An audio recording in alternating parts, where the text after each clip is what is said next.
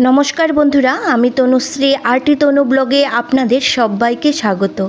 আশা করছি বন্ধুরা আপনারা সবাই ভালো আছেন এবং সুস্থ আছেন। বন্ধুরা, আজ সাতই সেপ্টেম্বর, বিশে ভাদ্র বৃহস্পতিবার। কাল থেকে শুরু হয়ে গেছে পবিত্র জন্মাষ্টমী।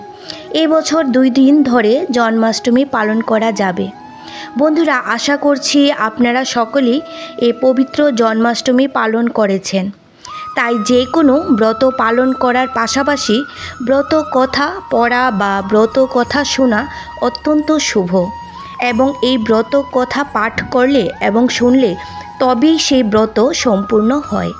আর যদি বন্ধুরা আপনারা জন্মাষ্টমী ব্রত কোনো কারণে না করতে পারেন, তাহলে শ্রীকৃষ্ণের উদ্দেশ্যে একটি ঘিয়ের প্রদীপ প্রজ্বলিত করে ব্রত কথা পাঠ করুন বা শুনুন, একই ফল পাবেন। তাই আজকে আমি আমার ভিডিওতে আমি আপনাদের শ্রীকৃষ্ণের জন্মাষ্টমী ব্রত কথা পাঠ করে শোনাব। তাহলে চলুন বন্ধুরা, ব্রত কথাটি শুরু করা যাক। হে কৃষ্ণ করুণা সিন্ধু, দীনবন্ধু জগৎপতে গোপেশ গোপিকা কান্ত রাধা কান্ত নমস্তুতে। জয় শ্রীকৃষ্ণ, রাধে রাধে। দিলীপ রাজকন বশিষ্ঠ মণিপতি শ্রীকৃষ্ণের জন্মকথা শুনিতে সম্প্রতি। ভাদ্র মাসে কৃষ্ণপক্ষে অষ্টমী তিথিতে কিবা হেতু জনার্দন জন্মেল ধরাতে। বৈশিষ্ট্য কহে, রাজা, শুনো ভক্তি মনে। নারায়ণ সতীজি কিসের কারণে? এই পৃথিবীতে জন্মে দৈবকী উদরে সেই পূর্ণ কথা বলি তোমার গোচরে। পূর্বকালে কংসাসুর নামী নরাপতি অহংকারে মত্ত হয়ে থাকি দিবারাতে। পৃথিবীর দুঃখদশা দেখি শুলো প্রাণী, ক্রোধেতে অধীর হয়ে কহে এই বাণী। দেবগণ, চলো যায় ব্রহ্মার সকাশে, করিব উপায় আজি কংসের বিনাশে। অন্তর মহেশ্বর দেবগণ লয়ে গমন করিল সবে ব্রহ্মার আলোয়ে। ব্রহ্মা তবে হংসপৃষ্ঠে আরোহণ ক্ষীরোদ সাগরে যান লয়ে দেবগণ। সাগরের তীরে স্তব করে সুরগম স্তবে তুষ্ট হয়ে দেবনারায়ণ সাগরের স্তরে কিবা হেতু করেছ আগমন? ব্রহ্মা বলিলেন, প্রভু করে নিবেদন। শিব বলে, বলিয়ান হলে কংসাসুর পৃথিবীর দেয়া সদা জনাতন প্রচুর। মহেশ্বর দিলবর ভাগিনার হাতে, নিধন হবে কংস নহে অন্য হতে। দৈবকী উদরে জন্ম করিয়া গ্রহণ পৃথিবীর দুঃখ দশা করুণ মোচন। নারায়ণ বলিলেন, দেব মহেশ্বর, পার্বতীকে সাথে দেন একটি বৎসল। কার্যা শেষে পুনরায় আসিবে চলিয়া, এত বলি উমারমা সাথেতে লইয়া।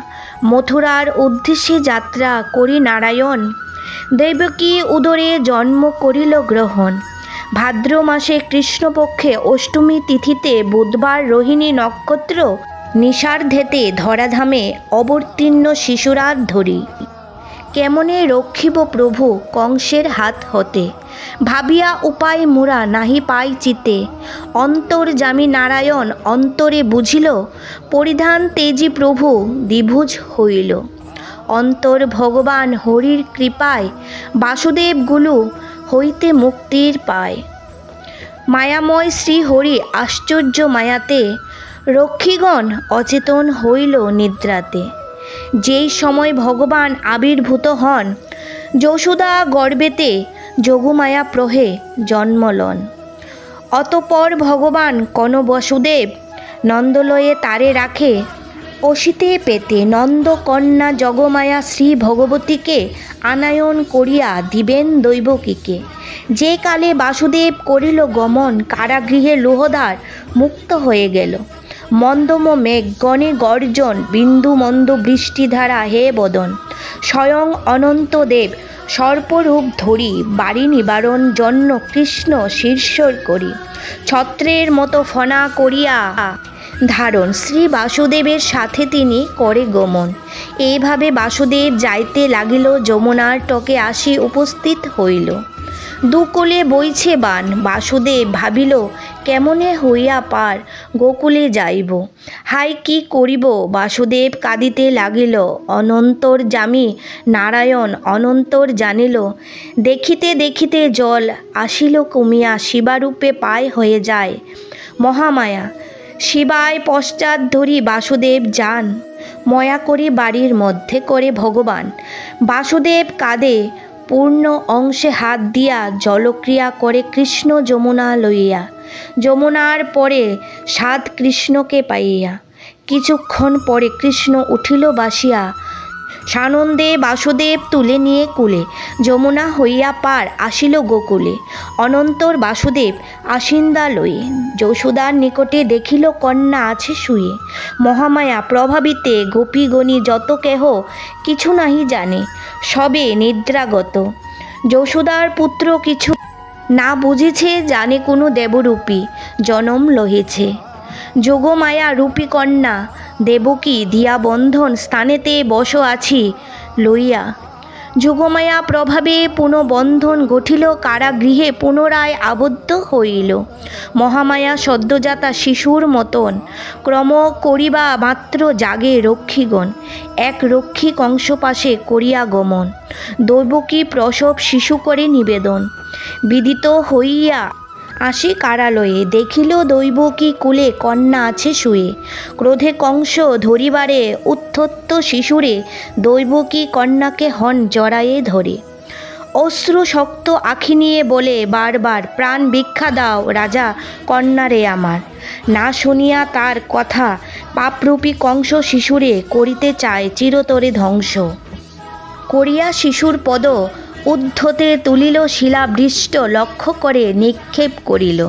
কিন্তু সেই শিশুকন্যা কংস হাত হতে আরও ঊর্ধ্বে যায় উঠে, না পড়ে শিলাতে। কন্যা অষ্টপূজা হন মহাদেবী রূপে। বলেন, বচন দুরাচার কংস ভূপে। দুষ্ট দুরাচার কংস, শুনে রে বচন। কিবা লাভ হবে বোধি আমার জীবন? দই শত্রু জেনে তিনি বালক রূপেতে দিনে দিনে বর্ধিত হচ্ছে গোকুলেতে। অতএব নিরদোষী, দৈবকী, বাসুদা, হিংসা করি উভয়েরে কিভা ফল হবে? তারপর অষ্টভুজা মাতা ভগবতী গেলেন কৈলাসে ধামে। যথা পশুপতি মহাম বাক্য কংস করিয়া শ্রবণ। বসু ও দৈবকীরে করে বন্ধন মোচন। তৎপরে কী রূপে শত্রু করে বিনাশন? পরামর্শ করে লয়ে মন্ত্রীগণ, জন্মাষ্টমী ব্রত কথা হল সমাপন। জয় শ্রী কৃষ্ণ বলি ডাক সর্বজন। কৃষ্ণ জন্মাষ্টমী ব্রত করে যেই জন, তার সকল ইচ্ছা হইবে পূরণ। রোগ শোক দূর হয়ে যায়, শান্তি পায় মনে। জন্মাষ্টমী ব্রত কথা যেই জন শুনে, হে গুলো কৃষ্ণ, প্রার্থনা চরণে, এই অধুমি কৃপা আপনার গুণে। জয় শ্রীকৃষ্ণ জয় শ্রীকৃষ্ণ জয় শ্রীকৃষ্ণ, রাধে রাধে। বন্ধুরা, আজকের ভিডিওটি এই পর্যন্তই। আশা করছি আপনাদের কাছে ভালো লাগল।